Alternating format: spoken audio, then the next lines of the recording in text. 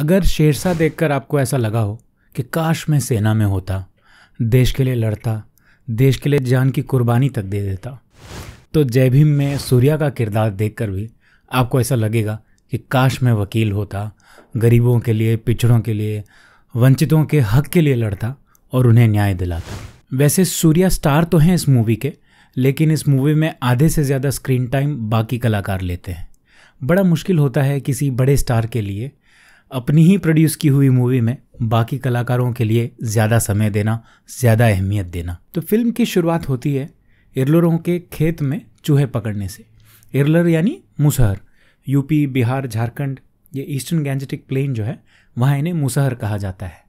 तो ये कहानी इरलर दंपति रासाकन्न और सेंगनी के द्वारा कहने की कोशिश की गई है। रासाकन्नु को चोरी के एक झूठे इल्ज़ाम में अंदर कर दिया जाता है और इनके साथ अमानवीय व्यवहार किया जाता है। लॉकअप ब्रुटैलिटी में इनके साथ क्या क्या होता है, यही कहानी है। और जो होता है, उसे उजागर करने के लिए कहानी की नायिका, यानी सिंगनी, वकील चंद्रू की मदद से क्या क्या करती हैं, ये कहानी का दूसरा हिस्सा है। ज़्यादा कुछ रिवील करके आपके लिए मूवी ख़राब नहीं करेंगे।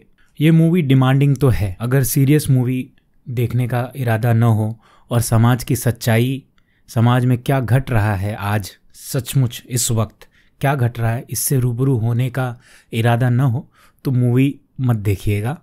मूवी शुरू मत कीजिएगा। सिनेमा हम क्यों देखते हैं? क्योंकि उस कहानी के नायक, नायिका में हम अपने आप को देखने लगते हैं।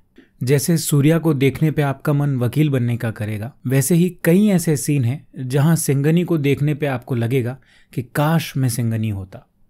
काश मैं इतना एम्पावर्ड फील करता। काश मैं इतना सशक्त फील करता। और सशक्त से मेरा मतलब शक्तिशाली नहीं है।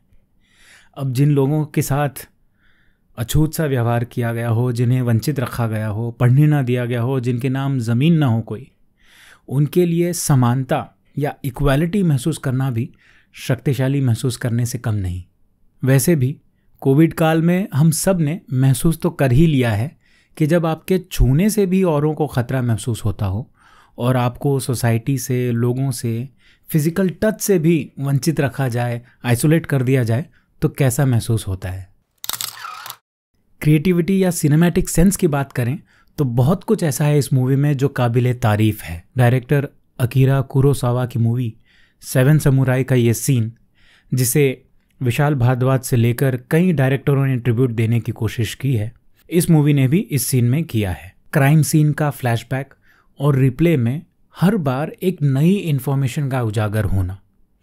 कैमरा एंगल से कैसे कहानी उजागर की जाती है, ये कोई डायरेक्टर न्यानेवल से सीखे जो राइटर भी हैं इस कहानी के। खैर टेक्निकल बातें तो बहुत सारी हैं जो इस मूवी को आईएमडीबी पे 9.7 की रेटिंग दिलाती हैं। लेकिन इस कहानी का एक मानवीय एंगल भी है, जो आपको मूवी देखने पे पता चलेगा। अगर आप में एक बूंद भी मानवता है तो इस मूवी को देखने के दौरान आपकी आँखों से वो ज़रूर छलक उठेगा। आपके साथ फिर किसी मोड़ पे बहुत जल्द मुलाकात होगी। तब तक के लिए इजाज़त दीजिए। जय भीम।